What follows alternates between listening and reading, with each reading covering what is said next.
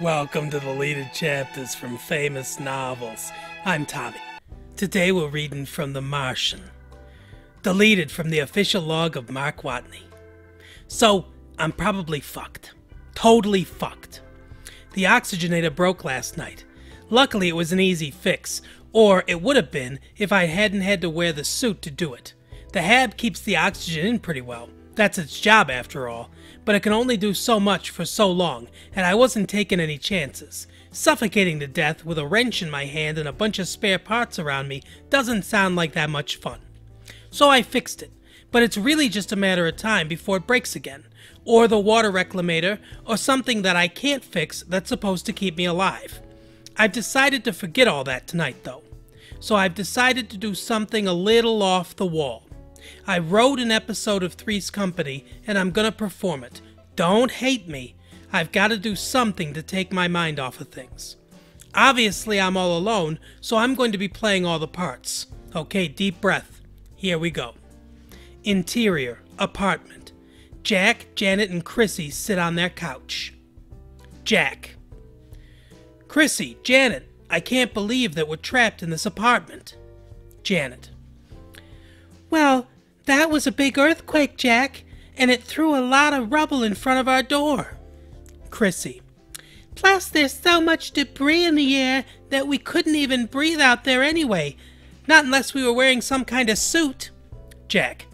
It's a good thing Mr. Furley left his old beekeeper outfit. That way, if one of us needs to go outside, we can. Chrissy. But I don't want to go outside, Jack. I want to stay here with you. Janet.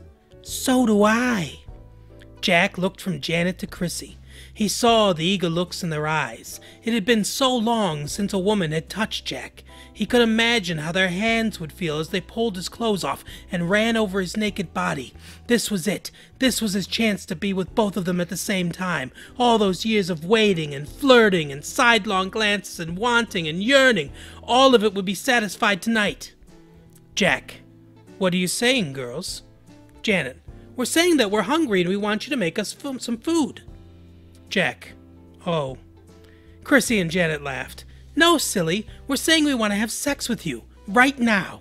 Jack closed his eyes and silently cheered. When he opened them, Janet and Chrissy were gone. Of course they were. They were outside when the earthquake struck.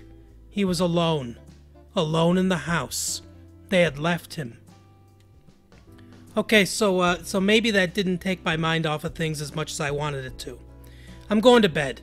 If anyone ever finds me, I'll have to figure out a way to delete some of these log entries. So, uh, thanks for watching Deleted Chapters from Famous Novels. Uh, come back every Tuesday for more deleted chapters. Come back every Monday for Trump Explains Classics, and every Thursday for Dumpster Diving. Uh, why don't you like, uh, subscribe, thumbs up, all that stuff with this video. Uh, you can check the description for our social media handles and other websites that you might want to, you know, take a look at and explore and read. Uh, thanks so much again for watching. See you next time.